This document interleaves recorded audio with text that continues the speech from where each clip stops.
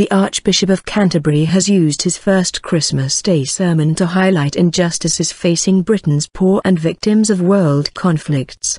The Most Reverend Justin Welby, also condemned the treatment of Christian communities in the Middle East. They are driven into exile from a region in which their presence has always been essential, he will say. The Archbishop of Westminster also talked about the plight of Christians who are persecuted for their faith. Archbishop Welby, who was enthroned in March, spoke at morning service in Canterbury Cathedral.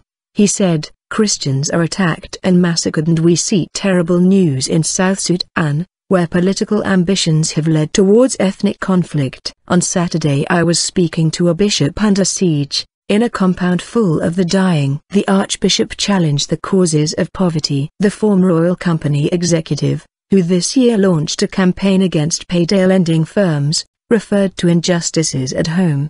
Even in a recovering economy, he added, Christians, the servants of a vulnerable and poor Savior, need to act to serve and love the poor, they need also to challenge the causes of poverty. Archbishop Vincent Nichols, the leader of the Roman Catholic Church in England and Wales, in his address, many, especially in the Middle East, were risking their lives to worship. Speaking at Christmas midnight Mass in Westminster Cathedral, Archbishop Nichols told the congregation to give a special thought and prayer to those Christians. Christians are the most widely persecuted religious group in the world today and this evening we think especially of the Middle East, especially of Egypt, Iraq and Syria, he said. The Archbishop of Canterbury also posted a brief Christmas video message on the photo-sharing website Instagram and tweeted a link to the clip through his Twitter account.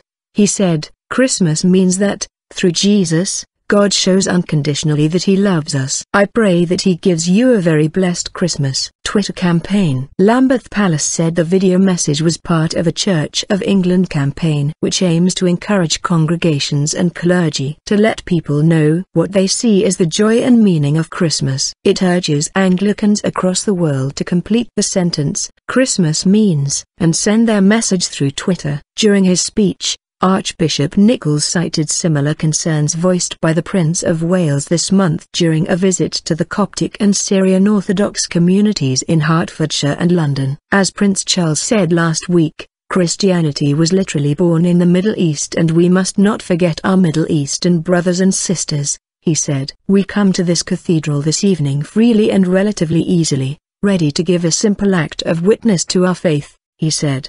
But for many, Going to church is an act of life-risking bravery. We thank them and seek to be inspired by their courageous faith.